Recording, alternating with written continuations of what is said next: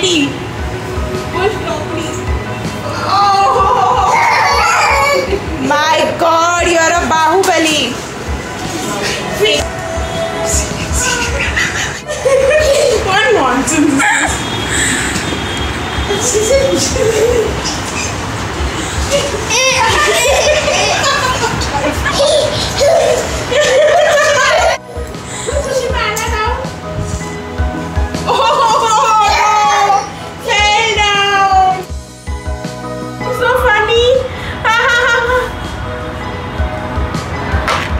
Put something in your head and show him, na?